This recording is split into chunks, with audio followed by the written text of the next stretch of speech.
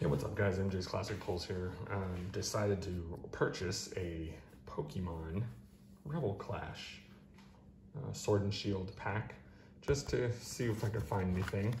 Uh, got a little bit more understanding recently about the Pokemon, so we will uh, take a look here and see if I can get one of those really good cards. Um, still a little not understanding everything,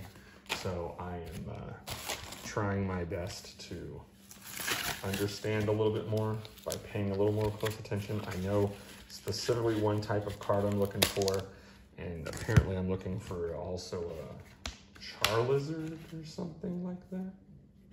Something along those lines. So uh, the card on the front is that um, Mantine. All right, and then, ooh, a whole Pokemon coin, which I don't know what I'm supposed to do with that. Like, sell it, trade it, I don't know. So, all right, let's take a look. Uh, if you haven't already done so, leave like, subscribe.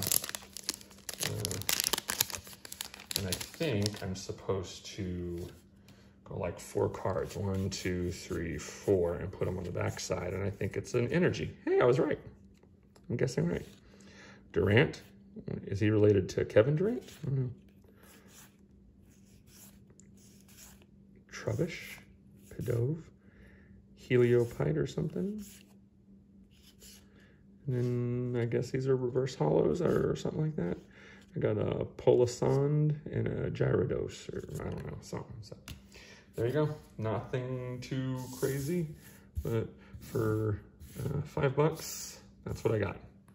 So maybe good, maybe not good. So thanks for stopping by, guys. If you haven't already done so, leave like, subscribe. Catch you guys later. Bye.